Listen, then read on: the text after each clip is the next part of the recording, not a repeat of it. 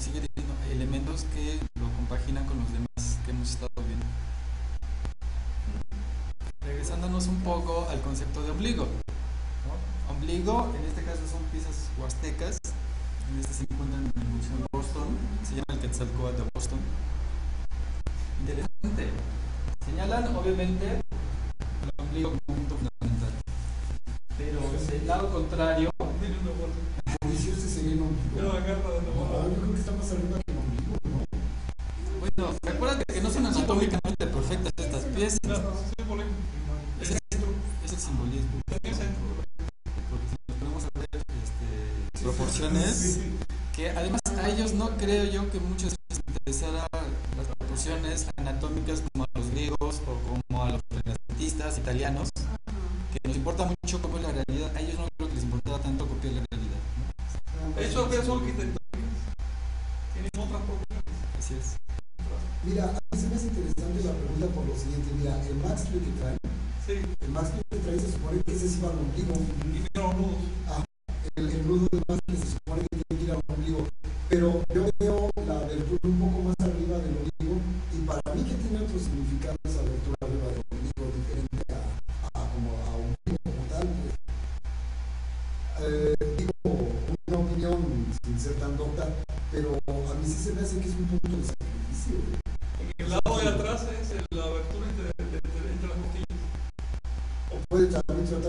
cuello como en algunos casos.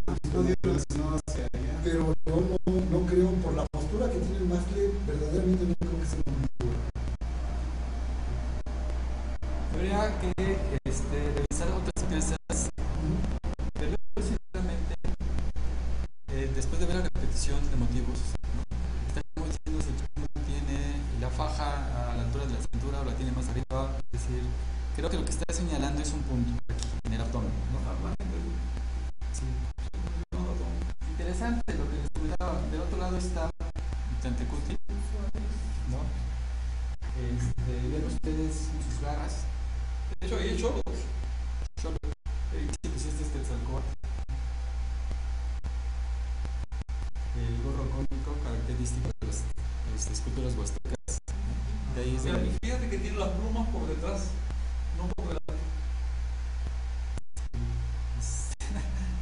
Eso que si a, lo mejor en algún chakra la parte de abajo también más debe, algo de tener, ¿no? Entonces, por favor. Esta es otra escultura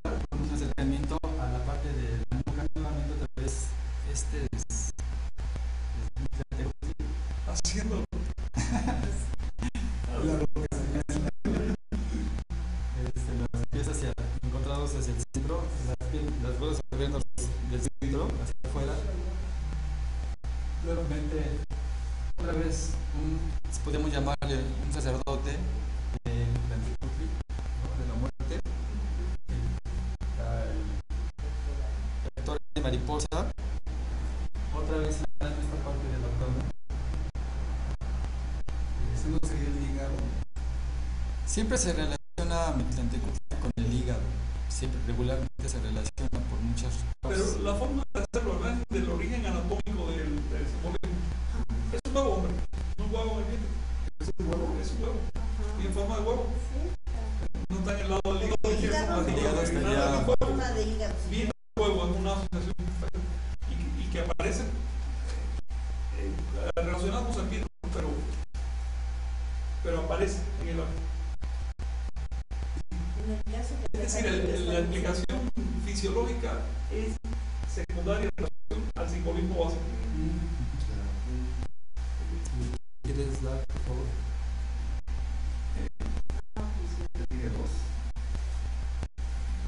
Nuevamente vuelvo a señalar el punto importante.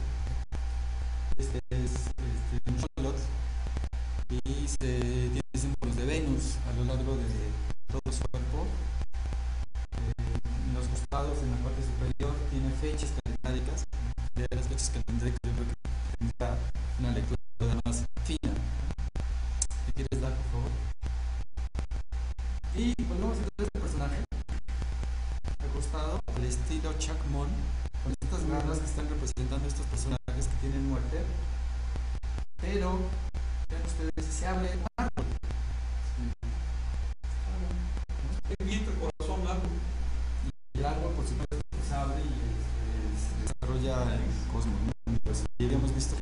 se encuentra en el, eh, en el escudo, en el emblema de, de que en este caso pasa lo que es el nopal. ¿Me quieres dar, por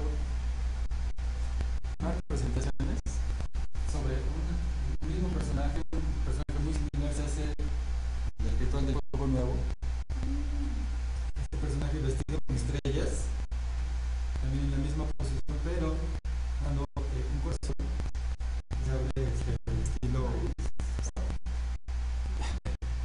de Cholos también, ¿no?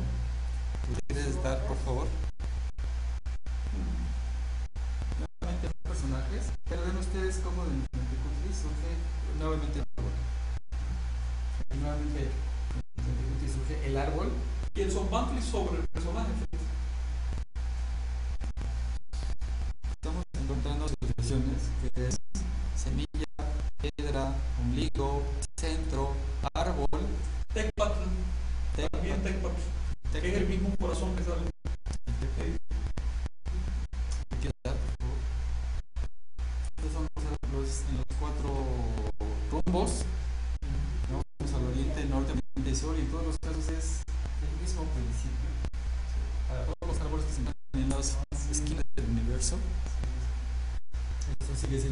¿Me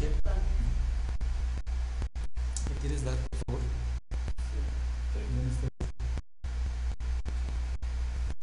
El centro del juego de pelota, que también es un ombligo, es un portal.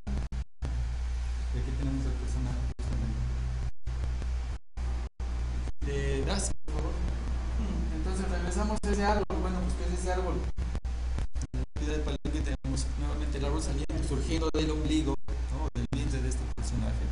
Obviamente no es femenino la imagen, es masculino, y entonces estamos hablando no de, de vientre, sino estamos hablando de ombligo, centro. Eh, se encontraba, ya habíamos hablado que en la parte superior se encuentra un ave representando lo celeste y en la parte inferior un monstruo de la tierra que representa el infierno. Este árbol lo vemos aquí, que decíamos es este. Pero ven ustedes la piedra. Esa piedra es parte del nombre de Tenochtitlan. ¿Le quieres dar, por favor? Esa, esa estos ejes son estos ejes que ya los hemos visto en otras ocasiones. ¿Le quieres dar nuevamente? Reino animal, reino mineral, reino vegetal. todos los tres reinos conjuntos. ¿Le quieres dar nuevamente? Y esta es un ónfalos griego.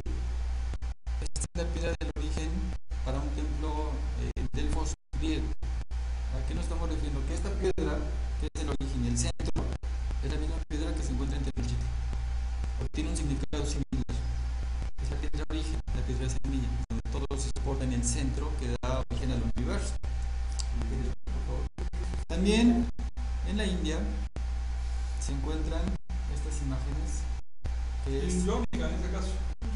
Lingam y Yoni.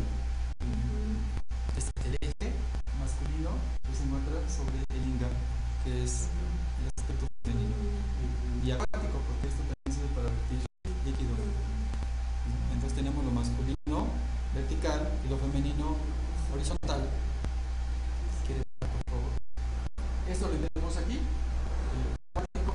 centro, también de fuego, agua.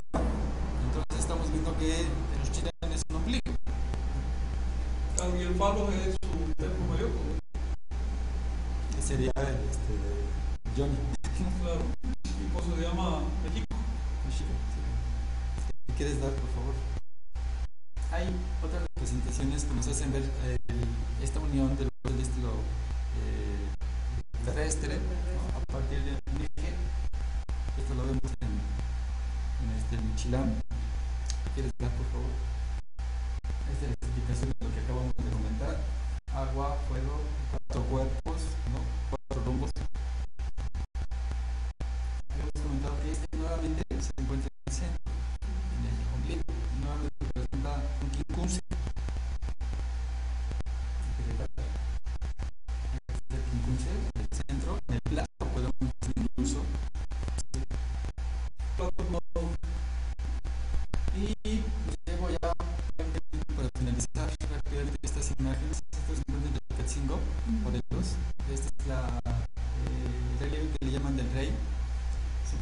que se encuentra unas fauces gigantescas, aquí está el ojo, las fauces. Se encuentra sentado y tiene una barra, una barra que tiene un elemento importante que quiere dar. Este es el elemento que tiene. Este se desdobla en un lado y se envuelve en el otro lado. Y pasa lo mismo con el banco donde se encuentra sentado. Y si nosotros representamos esto,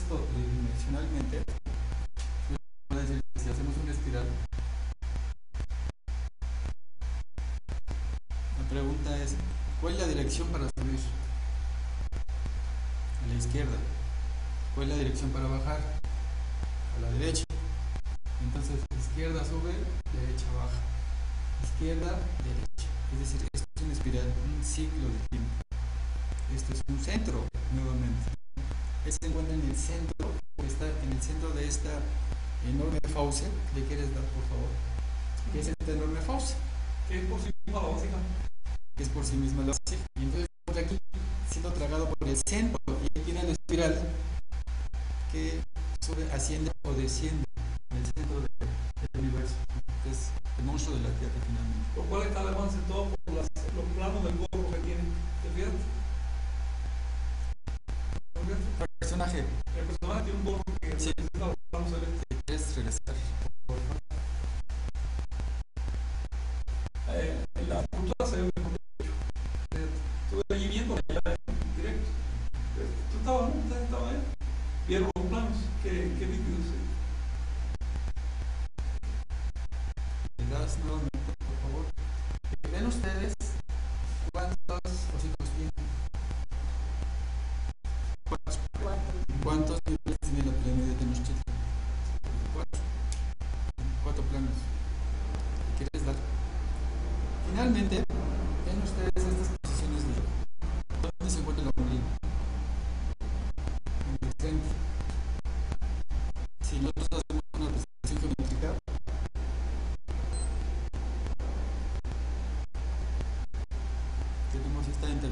De lo horizontal unido a lo vertical.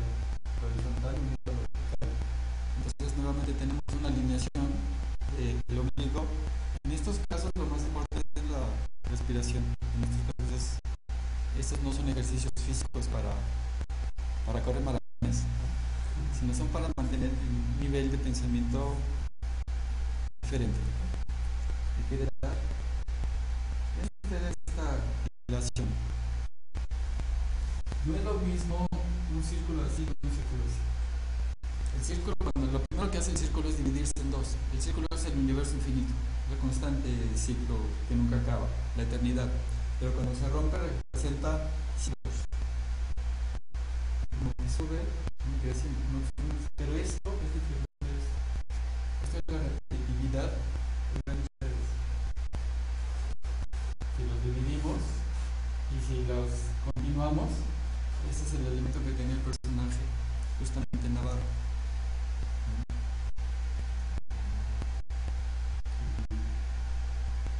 Obviamente está totalmente eh, llevando los casos circulares, pero en eh, la plástica prehispánica regularmente se lleva a los ángulos, es angulares,